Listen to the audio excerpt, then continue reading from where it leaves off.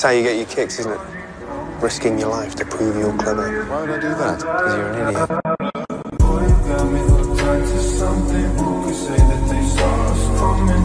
Fantastic.